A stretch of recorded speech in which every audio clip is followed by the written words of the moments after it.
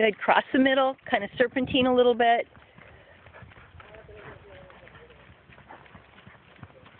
Beautiful.